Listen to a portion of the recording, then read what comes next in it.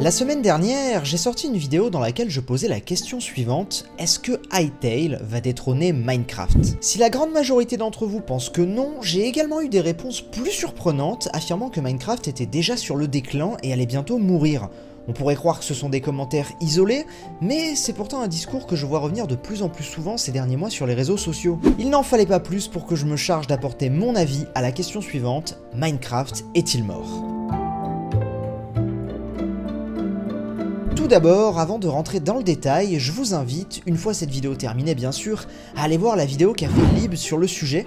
Je me suis aperçu en écrivant la mienne que j'étais pas le premier à aborder ce thème, mais bien que la question posée soit la même chez lui, il aborde le sujet avec un angle différent et complémentaire du mien. Donc ça peut être intéressant pour vous d'aller voir ensuite chez lui ce qu'il a à vous dire. Cette précision étant faite, allons-y On va commencer par un rapide historique. Minecraft est rendu public pour la première fois le 17 mai 2009 durant la version classique. On y découvre un jeu bac à sable au graphisme cubique, piloté par le studio Mojang derrière lequel se cache un homme, Marcus Persson, alias Notch. Presque deux ans et demi vont s'écouler entre la première version du jeu et la sortie officielle de la 1.0 le 18 novembre 2011 une période durant laquelle le jeu passera par une alpha et une bêta, et c'est aussi à cette période que de nombreux vidéastes, Fanta et son fameux guide en tête, se lanceront sur YouTube. Le jeu va alors rapidement se faire connaître et devenir un véritable raz-de-marée, tout le monde joue à Minecraft. La force du jeu résidera très vite dans sa communauté, à travers des maps ou des mods, mais également grâce à Mojang qui fera pas moins de 8 versions, de la 1.0 à la 1.8, de fin 2011 à début 2014. Tout se porte pour le mieux pour Minecraft, le jeu ne cesse d'augmenter en joueurs, les mises à jour sont régulières et le jeu est adapté pour console. Mais l'année 2014 va être marquée par un événement majeur, le rachat de Mojang par Microsoft le 15 septembre 2014 pour 2,5 milliards de dollars. C'est colossal. Un véritable tournant pour la licence qui va faire peur à énormément de joueurs, craignant que le géant américain dénature le jeu et le rende trop commercial.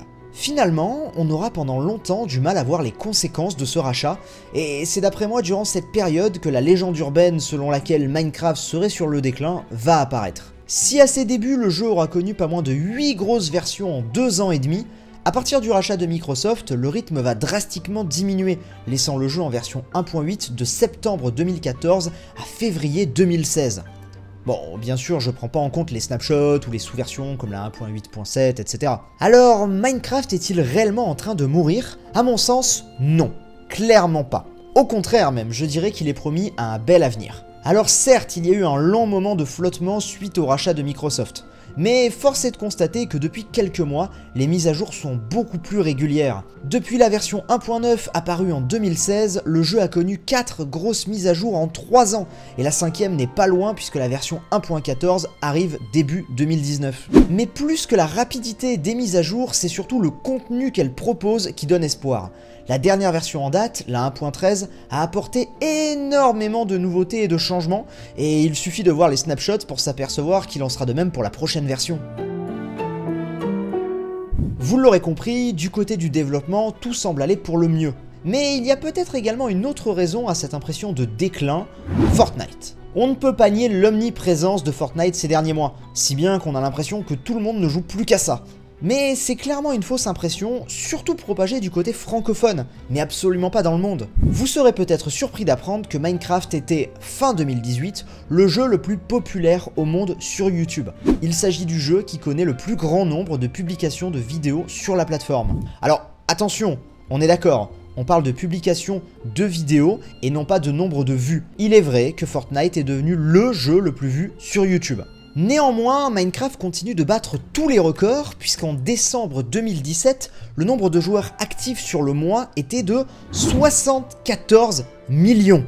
Rien que ça. Le jeu n'avait jamais atteint de tels scores, c'est bien la preuve qu'il continue de progresser, et je ne parle même pas du fait qu'il soit le troisième jeu le plus vendu de tous les temps, derrière Counter-Strike et League of Legends. Alors comment est-ce qu'on pourrait expliquer la baisse de vues sur YouTube? À mon avis, c'est simplement générationnel.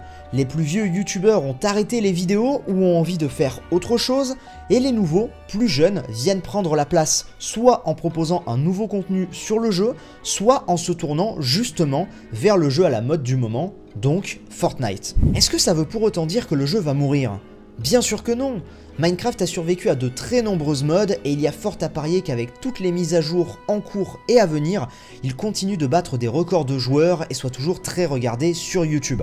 La force de Minecraft réside dans sa communauté et sa longévité. On ne sait pas encore si Fortnite sera là aussi longtemps ou non, alors que Minecraft, on le sait, il est durable, sa communauté est installée et ne le lâche pas. Et puis au pire, s'il n'est que le deuxième jeu le plus regardé sur internet, c'est déjà pas si mal, non, pour un jeu en déclin?